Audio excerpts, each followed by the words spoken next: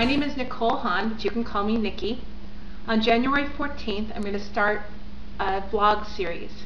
A vlog is a video instead of a written blog post. And what this is about is called Coffee with Nikki, hence the coffee mug. And what this is is a five minute video in where I will share stories about social media and I will share short devotionals. None of the videos will be over five minutes.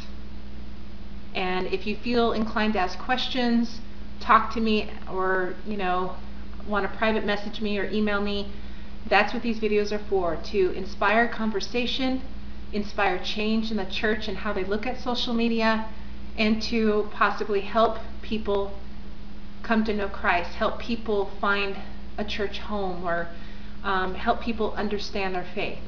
Um, so this is both for the believer and the unbeliever. So I hope you will join me on our first episode on January 14th on a Saturday. The video will be posted in the morning sometime. And it is my hope that I can put these out about once a week to twice a month, depending on time.